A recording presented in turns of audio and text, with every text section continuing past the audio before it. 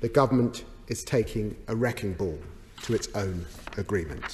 I don't believe that the bill is the way forward. That is why, sadly, I shall not be supporting it tonight. And it will diminish the standing of the United Kingdom in the eyes of the world, and I cannot support it. I don't think we should really need to say this, but it's absolutely vital that the UK government should be able to respect the international obligations that it enters into freely. You do not break international law and alienate our partners and allies, not just in Europe but across the world. And the Honourable Gentleman should know better. Today, 18 months after it came into the force, the government is taking a wrecking ball to its own agreement. I thank him for giving way, and I refer him to the comments that were made by the member for Leeds. Uh, uh, uh, indeed, a, a, very good proposal that was made just a few moments ago that uh, he would trigger and should trigger Article 16.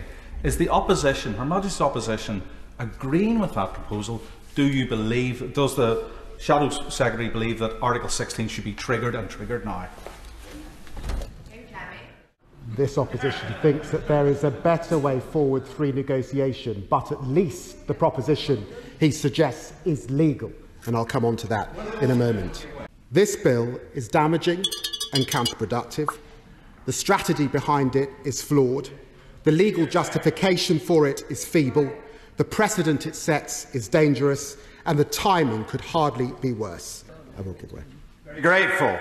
The protocol makes very clear the primacy of the Good Friday Agreement for peace in Northern Ireland and says that the EU will respect our internal market. They are doing neither. What is his policy to persuade them to do so? Negotiate. Yes, just as this, just as this opposition did to get the Good Friday Agreement. we negotiate. The argument supporting it are flimsy at best and irrational at worst. It's a bill that risks economically harmful retaliation, a bill that runs the risk of shredding our reputation as a guardian of international law and a rules based system. How, in the name of heaven, can we expect to speak to others with authority when we ourselves shun, at a moment's notice, our legal obligation? If I don't get my own way on everything, I'm going to take my ball off the pitch. I'm going to act unilaterally. I'm going to act off my own bat. That is not the way to do it. It has to pass all of the tests as set out in the, uh, in the statute, and it doesn't. I mean, it's not only just marking your own homework, it's copying somebody else's homework and then claiming all of the credit yourself. That this is all gamemanship and muscle flexing. Belfast Port is now handling a record amount of port, 25.6 million tonnes of cargo last year. The food and drink sector is benefit, benefiting. More Irish business is buying stuff from Northern Ireland. This is good for Northern Ireland PLC. In conclusion, Madam Deputy Speaker, the Henry VIII clauses are wrong, the purpose of the bill is wrong, the necessity isn't proven.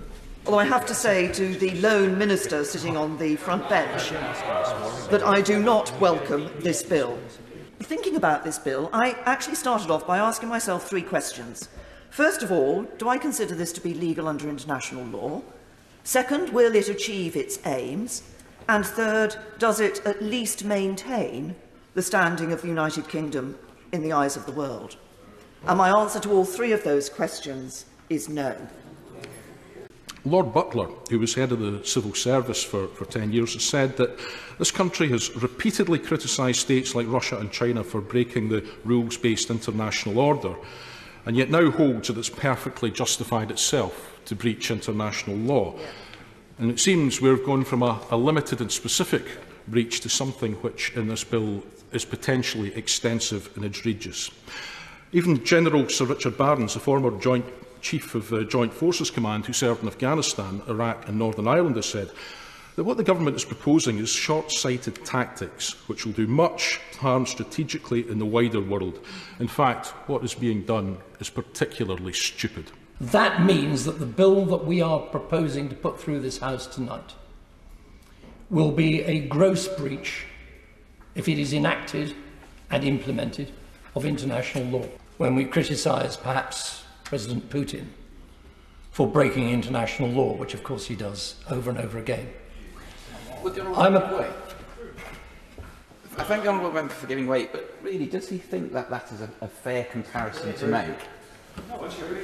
Um, could I gently suggest to my young friend that if I hadn't thought it was a fair comparison, I wouldn't have made it?